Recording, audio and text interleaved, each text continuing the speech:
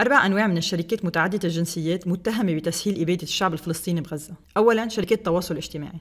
شركة ميتا متهمة بمشاركة بيانات الواتساب تبع الغزيين مع الجيش الإسرائيلي. بيستهدف الجيش الفلسطينيين بغزة بناء على وجودهم بجروبات واتساب مع مقاتلين مشتبه إنهم بحماس. بس الجيش ما بيقدر يوصل لهالمعلومات من دون مساعدة ميتا خصوصا إنها بتدعي إنه واتساب تطبيق آمن. إضافة لمشاركة البيانات اعترف الجيش الإسرائيلي أنه بيدير قناة كبيرة على تيليجرام وبينزل عليها منشورات بتفتخر بجرائمه بغزة.